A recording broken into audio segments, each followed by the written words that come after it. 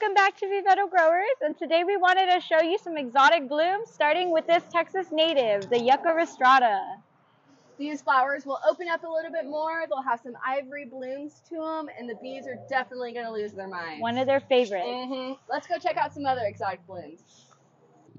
And this funky bloom comes from the Mexican bird of paradise. What do they smell like, Christina? Bananas. And look at how awesome these long red stamens are. They almost look like eyelashes. So beautiful. Now this super cool succulent is called the Stapelia. I call it the stinky starfish because, well, it looks like a starfish and it is very stinky, people. Listen, it's stinky. Oh! Yeah.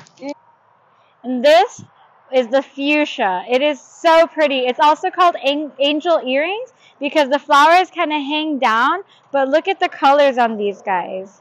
Purple, fuchsia, and hot pink. One of my favorite flowers. Bye! Thanks for watching. Make sure you like and subscribe. Check out all our videos on social. We're just at Vivero Growers. And come check us out in the nursery. Thanks for watching.